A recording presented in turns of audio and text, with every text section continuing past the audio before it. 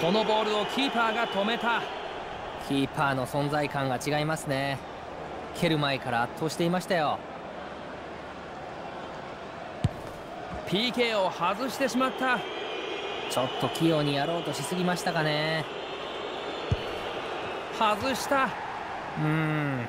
意表をついたのが裏目に出ましたね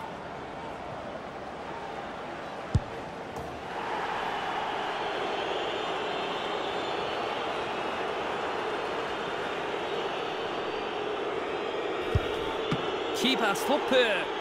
読みが冴えてますね。入れば勝利が決定します。プレッシャーがかかりますね。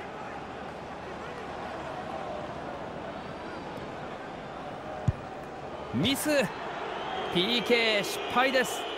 ここは決めておきたかったですね。プレッシャーがキッカーにかかります。もし決められなければ敗戦が決まりますこの瞬間に勝利が確定。これはキーパーの読み勝ちでしょう。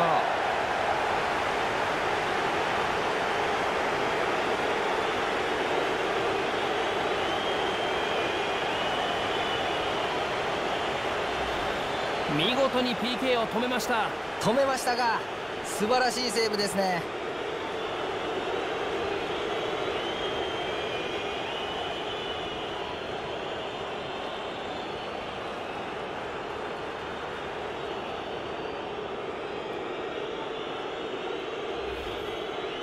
試合が終了しました。福西さん PK でのゴールが試合を決めました。そうですね。PK の判定は妥当でしたし勝つ方が勝った試合だと思いますよ。